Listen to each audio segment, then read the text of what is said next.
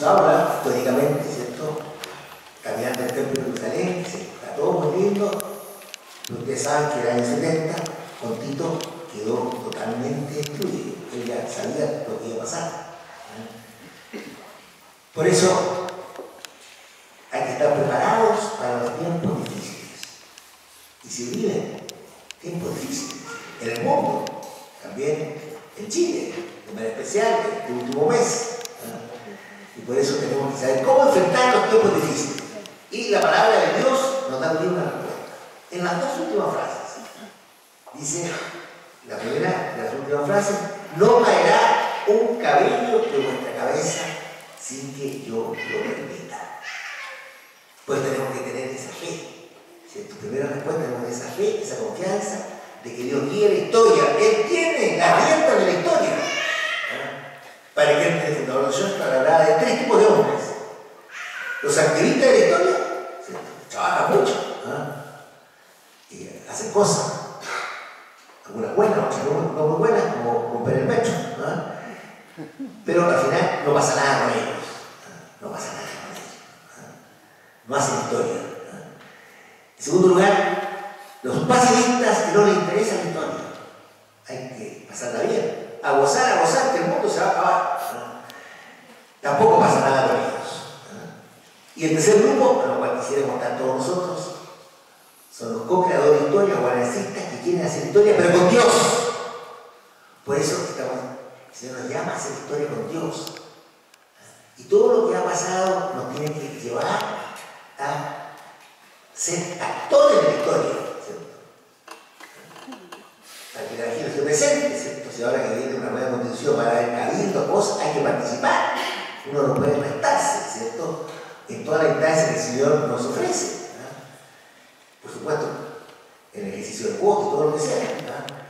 Pero lo importante es de Dios en los tiempos difíciles sacar enseñanzas de todo lo que ha pasado, sacar enseñanzas no solamente en general, sino también para mi vida. ¿Qué cosas tienen que cambiar en mí?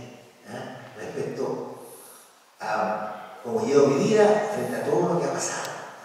Este llamado a, la justicia, ¿cierto? Que ha cosas que han sido pacíficas y que hay una gran petición de mayor justicia. Ahora todos tenemos que nos tienen que llevar y también a mirar de que la iglesia tiene respuesta a esto, el evangelio de respuesta. Y por eso tenemos que estudiar ¿cierto? la doctrina social de la iglesia. Me decía alguien, ¿cierto? Eh, estudioso de la autoridad de la iglesia, bueno, ahí está toda la respuesta para todo, ¿cierto? desde el Evangelio, desde Cristo, no pidiéndole prestado a nadie cosas, ¿cierto? Ni métodos ni nada por el estilo. Queremos hacer historia, pero con Dios. La primera respuesta a los tiempos difíciles es una fe profunda. Estamos en las manos de Dios, que nada pasa por casualidad, que Dios es Padre, que Dios es bueno, que bueno todo lo que hace, y que nada lo tiene que turbar. Hoy día Santa Teresa de nada te turbe, nada te espanta que nadie tiene, nada le falta, solo Dios más. Primera respuesta, ¿cierto? De, la última frase del Evangelio de día. Y la última frase dice, vuestra constancia nos llevará a la salvación. Cuando se refiere a constancia se refiere a la santidad de la vida diaria. Son los vida Ser santos de la vida diaria, no santos solamente de domingo, sino santos de la vida diaria importante es crear seriamente a la santidad. que es lo que es la perfección? Ser el esposo ideal, la esposa ideal, el marido ideal, ¿cierto? El padre ideal, la madre ideal, el sacerdote ideal, la religiosa ideal, el hijo ideal, la amiga ideal, la nieta ideal, todo, ¿cierto? Mirar grandes ideales. Eso nos tiene que llevar la santidad de la vida diaria. Y hay tres planos en la vida de santidad que hay que tener muy presentes. En primer lugar, mi relación con Dios. Si quiero ser santo, tengo que tener relación con Dios. Tengo que poner a Dios en el centro de mi vida.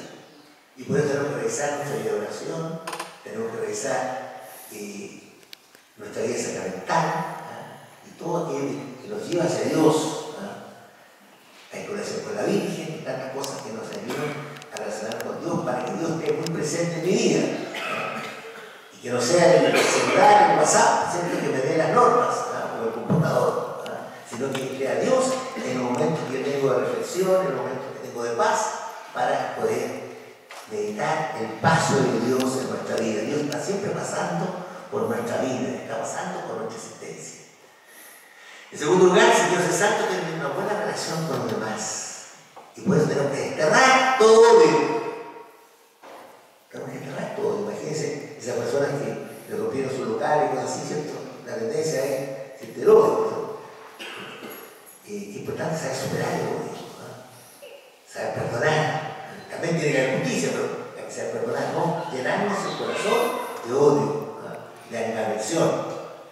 Y en tercer lugar, tenemos que aspirar, tenemos que tener, en relación a uno mismo, un gran proyecto de vida.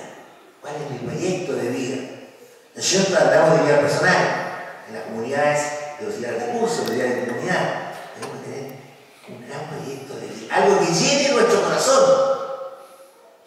Ya lo decía San Agustín, ¿eh? mi alma no descansa en paz mientras no descansa en ti, Señor.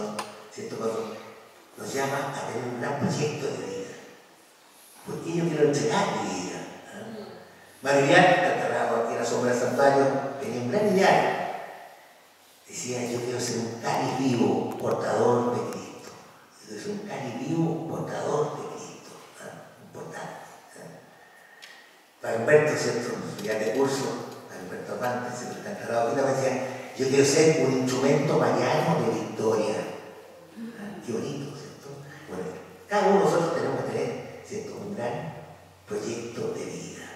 Un gran proyecto de vida.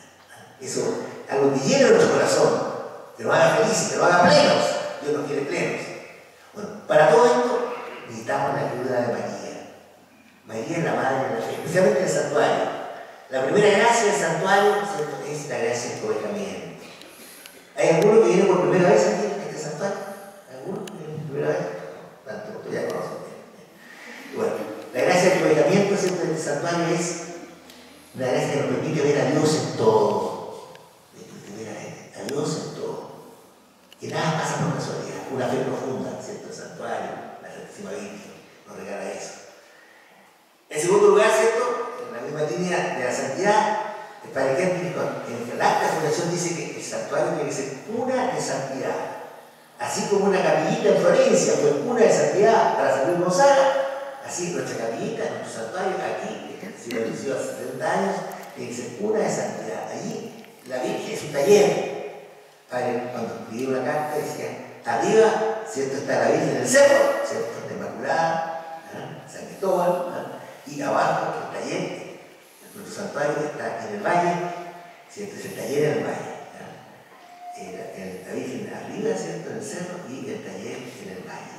Ahí la Virgen trabaja para que cada uno de nosotros pueda ser lo mejor de sí mismo. Eso es lo que Dios nos pide, no nos pide más. Que cada uno de nosotros sea la mejor imagen posible de sí mismo. Y por eso tenemos que revisar nuestra fe, tenemos que revisar nuestra santidad, tenemos que revisar nuestra relación con Dios, con los demás, conmigo mismo. ¿Para qué? Para lograr algo muy importante en la vida personal y de un país, que es la paz. ¿Cuándo hay paz? Nuevamente tenemos que acudir a San Agustín, doctor de la iglesia. Y decía, ¿cómo quiero que la paz sea, era, hablaba de latín, tranquilitas ordinis, tranquilidad en el orden. Busca paz para el orden. Cuando tiene a Dios en el centro de su vida, ¿cierto?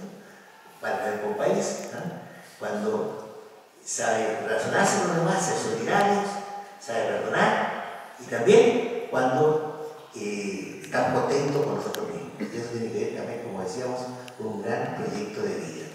Por eso ahí estamos en paz.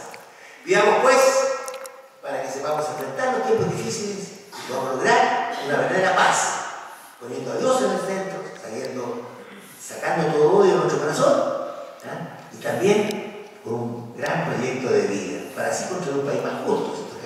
Creo que gran llamado con todo esto que ha pasado, un país más justo, ¿cierto?